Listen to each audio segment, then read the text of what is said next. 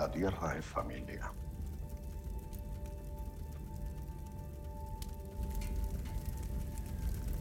Ser guarda del local es ser familia.